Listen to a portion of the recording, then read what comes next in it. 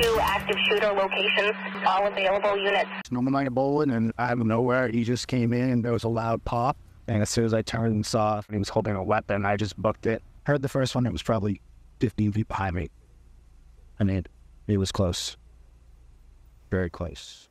A witness describing the chaos as a gunman opened fire inside of a bowling alley, then turned the gun on people at a restaurant just down the road.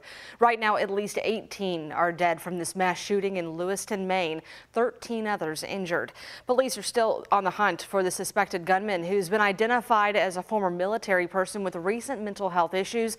He was a firearms instructor and Army reservist. ABC's Morgan Norwood is in Lewiston, Maine with an update from police less than an hour ago.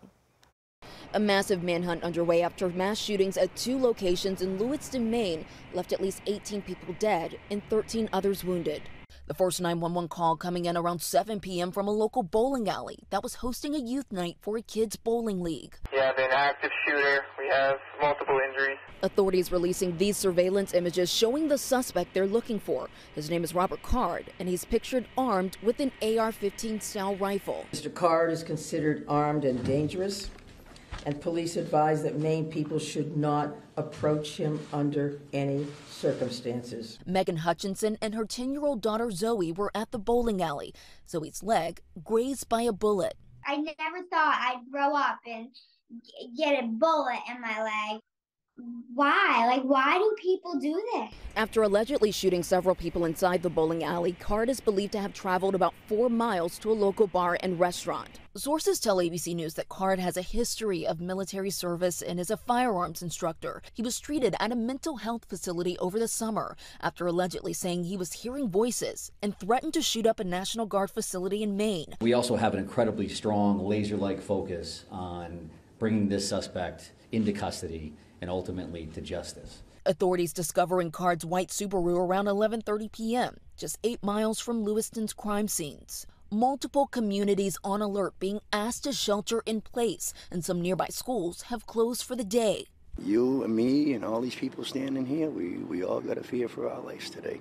And it's not the way it's I grew up. And according to the Gun Violence Archive, there have been 565 mass shootings just this year alone, with last night's shooting being the deadliest. The White House has lowered flags to half staff. Morgan Norwood, ABC News, Lewiston, Maine. We'll be on the story all day, so stay connected with us through WHAS11.com and on the WHAS 11 app. EPA officials say they've successfully completed operations at the Highview home once filled with dangerous explosive materials, and any risk for explosion or fire is over. It is our top local story here at noon. Senior reporter Isaiah Kim Martinez and senior photojournalist Alyssa Newton are live now on Applegate Lane. Isaiah? Well, Brooke, more than two months since this whole issue was first put on our radar and 10 days since that demolition started, people living here can finally breathe a sigh of relief. That's according to Mayor Craig Greenberg, Metro EMS, and of course the EPA. Now take a look at this video, brand new video we got for you today. Uh, for the first time, we got an up close look on the property wrapped around with those storage containers used as barriers. Here in this video, you can see what's now a hole in the ground. That's where crews took apart the home piece by piece removing any hazardous debris and chemicals, which we're told have been taken to an MSD facility for temporary storage. Now, in a news conference today, EPA on-scene coordinator Chuck Berry told us there were actually about 100 chemicals inside. Previously, the city had said about 20, playing a role in them opting not to go for a controlled burn. That's part of the reason why we went with this option. And, and I want to give uh, Louisville Metro a lot of credit for reassessing the situation. This process worked exactly as it's supposed to. This is exactly what should have happened there. And we all got together, looked at the problem, came up with another solution, and implemented it. So what's next? Berry says they will still need to find a permanent facility to dispose of the chemicals once and for all.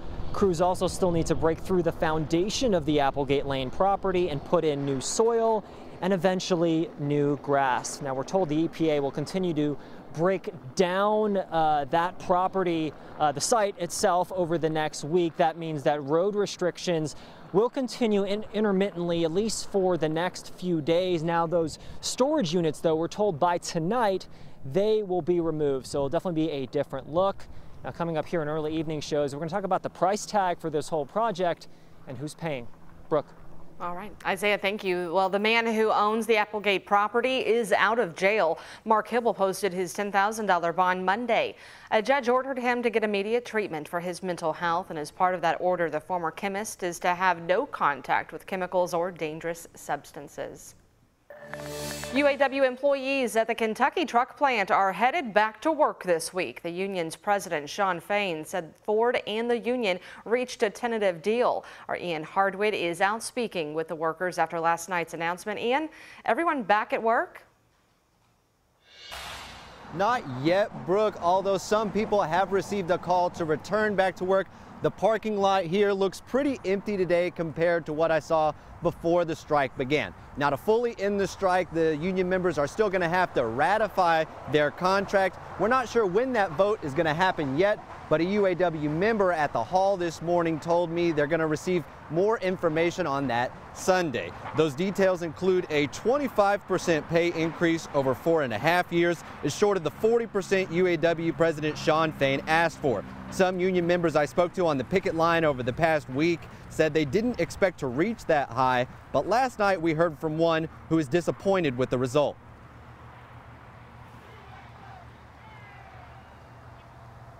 Cost of living adjustments return in the agreement. It's something the union gave up during the 2008 recession to help keep Ford afloat.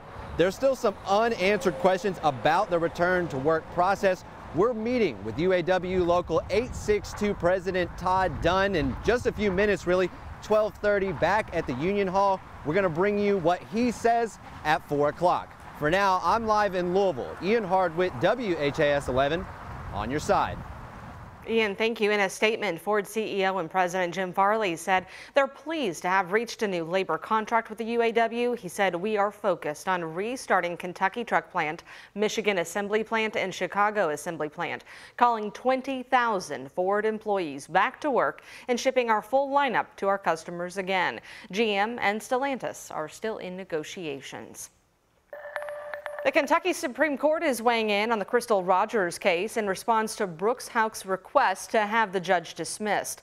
Houck is charged with murder and the disappearance of his former girlfriend, Crystal Rogers. His attorneys claim Nelson County Judge Charles Simms showed bias toward Houck through current and former court proceedings.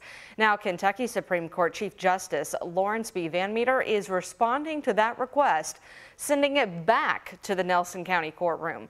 The Chief Justice wants the attorneys first to ask Judge Simms to recuse himself, and if he declines, Simms will be asked to submit his own reasons for staying on the case.